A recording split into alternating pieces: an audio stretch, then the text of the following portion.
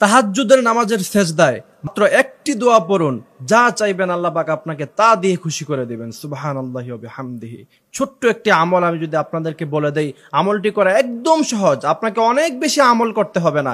আল্লাহ রাসূল সাল্লাল্লাহু আলাইহি সাল্লাম বলছেন, আখলিস দিন একা দীনাকা ইয়াকফিকাল আমালুল কলিল। অল্প আমল করবা, সেটা যদি এখলাসের সাথে হয় সেটার নিয়ত যদি তোমার ভালো থাকে, তাহলে সেটাতেই তোমার জন্য যথেষ্ট হয়ে যাবে। সুবহান হামদিহি আমার ভাইয়ার, আপনি একটু খালি খেয়াল করেন, আমি আপনাকে বুঝিয়ে বলছি কথাগুলি। আপনি দেখেন, পাঁচ ওয়াক্ত নামাজের সময় মুয়াজ্জিন সাহেব হাইয়া আলাল সলাহ হাইয়া আলাল ফালাহ বলে মানুষকে নামাজের দিকে আহ্বান করে। আর তাহাজ্জুদের সময় হলো এমন একটি নামাজ, যেই নামাজের জন্য আল্লাহ সুবহান তাআলা নিজেই আহ্বান করতে থাকে। সুবহান আল্লাহ হামদিহি বিশ্বনবী বলছেন, হাদিসের বর্ণনার মধ্যে এসেছে, আল্লাহ পাক সপ্তম আসমানে আসেন এবং আসার পরে তিনি দুনিয়ার বান্দাদের প্রতি লক্ষ্য করে তিনি বলেন, কার বাড়ি নাই আমার কাছে চাও?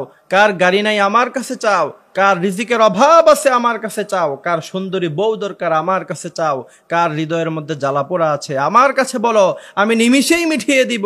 আল্লাহবাক এভাবে বান্দাদেরকে বলতে থাকেন। তিনি সপ্তম আসমানের মধ্যে আসেন। আসার পরে বান্দাদেরকে বলেন, বান্দা, কার কি দরকার আমার কাছে চাও? আবার বিশ্বনবী বলেছেন, মানুষের কাছে যদি তুমি একটি জিনিস চাও, মানুষ হয়তো তোমাকে দিয়ে দিবে, কিন্তু বারবার যদি মানুষের কাছে চাও, তুমি যদি মানুষের কাছে একবার কোনো কিছু চাও, সে হয়তো তোমার উপর রাগান্বিত হবে না। কিন্তু বারবার যদি তুমি কোনো কিছু মানুষের কাছে চাও, তাহলে মানুষ তোমার উপরে রাগান্বিত হয়ে যাবে। কিন্তু তোমার রব হচ্ছেন এমন রব। তুমি হাজার বার চাইলেও আল্লাহ বলেন, বান্দা, আরও হাজার বার চা। তোর যা দরকার আমি তোকে সব কিছু দিয়ে খুশি করে দেব। সুবহান আল্লাহ হামদিহি তো সেই জায়গা থেকে আল্লাপাক যখন আর সে আজিমের মধ্য থেকে তিনি যখন সপ্তাহ আসমানের মধ্যে আসেন, আসার পরে বান্দাদেরকে ডাকা শুরু করেন, আমার কাছে যা প্রয়োজন তুমি সব কিছুই চাও, সেই সময়টি হচ্ছে তাহাজ্জুদের সময়।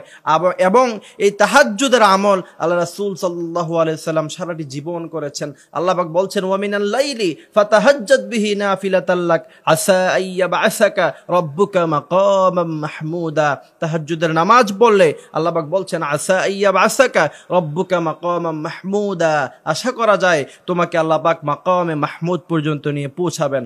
তো সুতরাং আমার ভাইয়েরা, আমাদের জীবনে যা কিছু প্রয়োজন, সব কিছু আমরা তাহাজ্জুদের নামাজ পড়ার পরে, তাহাজ্জুদের নামাজের সেজদার মধ্যে আমরা আল্লাহ পাকের কাছে দোয়াটি পড়ে, তারপর নামাজ শেষে আপনি আল্লাহ পাকের কাছে চাইবেন। প্রথমত আপনি যখন সারা পৃথিবীর সমস্ত মানুষ যখন ঘুমিয়ে থাকে রাত্রি যখন অন্ধকার হয়ে যায়, আপনার পাড়া প্রতিবেশী সবাই ঘুমিয়ে থাকল, আপনার ছেলেমেয়েরা ঘুমিয়ে থাকল, আত্মীয় স্বজনরা সবাই যখন ঘুমে বিভোর হয়ে থাকল, ওই সময় যখন আপনি আস্তে আস্তে উজু করলেন, উজু করার পরে জায়নামাজ বিছিয়ে, খুব খুশি এবং খুশুর সাথে তাহাজ্জুদের নামাজের মধ্যে আপনি দাঁড়িয়ে যাবেন এবং তাহাজ্জুদের নামাজের সেজদায় গিয়ে আপনি সুবহান রব্বিয়াল আলা, সুবহান রব্বিয়াল আলা, সুবহান রব্বিয়াল আলা। এই তাসবিহটি পড়ার পরে তারপরে আপনি পড়বেন, রব্বানা আতিনা ফিদ দুনিয়া হাসানা ওয়া ফিল আখিরাতি হাসানা ওয়া কিনা আযাবান নার। এই দোয়াটি স্বয়ং আল্লাহ শিখিয়েছেন।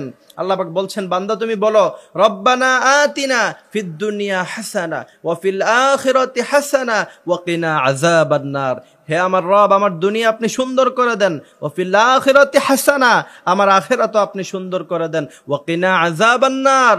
আর আমাকে কষ্টদায়ক আজাব থেকে আপনি বাঁচিয়ে দেন। এই দোয়া স্বয়ং আল্লাহবাক শিখিয়েছেন মানুষদেরকে। হে বনি আদম, তোমরা এই দোয়াটি আল্লাহবাকের কাছে করো এবং চাও, তাহলে তোমার দুনিয়া এবং আখেরাত সব সুন্দর হয়ে যাবে। তাসবিহটি পাঠ করার পরে দোয়াটি পড়বেন, তারপরে নামাজ শেষ করবেন।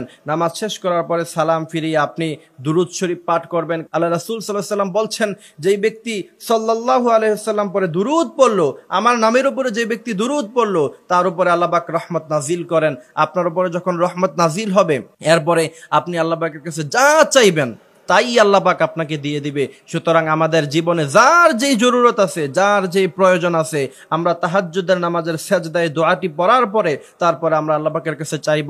আশা করা যায় আল্লাহ পাক আপনাকে ফিরিয়ে দিবেন না। আল্লাহ পাক আমাদেরকে আমলটি করার মতো তাওফিক দান করুক। আমিন।